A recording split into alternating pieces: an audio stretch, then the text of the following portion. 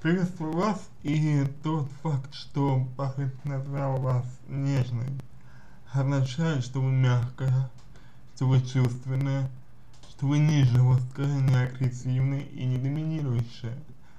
Мягкость и не, и не мягкость, гибкость и податливость, вот что означает, э,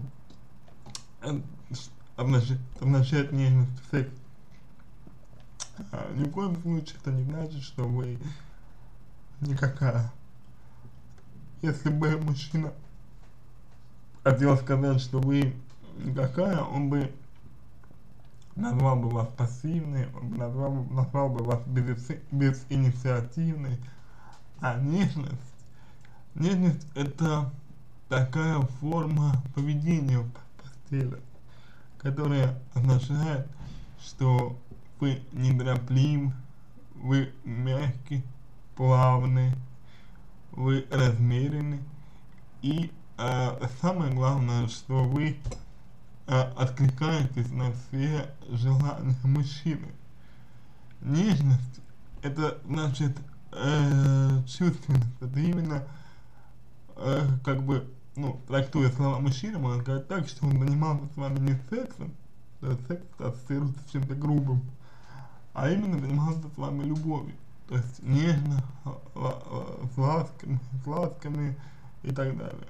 Это значит именно это и ни в коем случае не связывайте э, э, данное определение с тем, что вы никакая. Другое дело, что, другое дело, что отвечает ли э, данное определение тому, чего вы хотели бы в сексе отвечает ли данное определение тому, а, что вам больше нравится, это уже другой вопрос. И в этом случае вам необходимо либо самостоятельно какие-то действия предпринять, чтобы изменить как-то этот момент, если вам не нравится, либо поговорить с мужчиной, чтобы донести до него ваше желание и тогда у вас э, не будет возникать таких неточностей, таких проблем и так далее. На этом все. Надеюсь, что помог вам. Если какие-то вопросы остались, обращайтесь в личку «Помогу». Если вам понравился мой ответ, пожалуйста, сделайте его лучшим. Буду благодарен.